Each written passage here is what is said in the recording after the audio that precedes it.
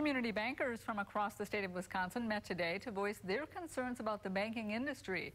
About 20 bankers talked with state or U.S. Representative Sean Duffy and the Federal Deposit Insurance Corporation's chairperson in Wausau. They talked about the rules and regulations that make it more difficult for small banks to give loans. Those regulations were tightened during the recession, but now the FDIC chairperson says that those small banks in our area are doing much better, and that is good for the local economy.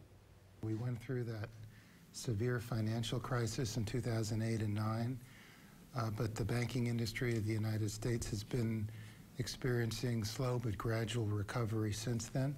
And I think that's generally true of the banks here in Wisconsin.